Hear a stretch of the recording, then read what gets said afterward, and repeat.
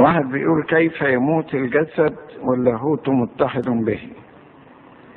وبعدين بيقول أنا أعرف أنه يموت بانفصال الروح منه ولكن كيف يكون الجسد ميت وهو متحد باللاهوت؟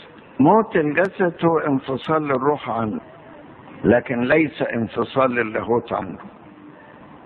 ولذلك قيل من القصص في التاريخ إن نيقوديموس وهو يكفن المسيح مسك إيده كده وقال هذه اليد التي صنعت سماء الأرض كيف أنا الإنسان المسكين إني أكفنه؟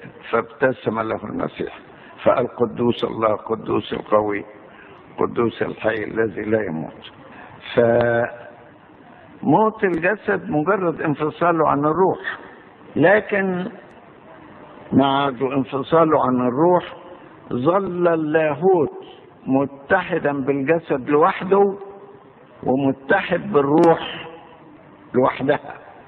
فلما جاءت القيامة الروح المتحدة باللاهوت اتحدت بالجسد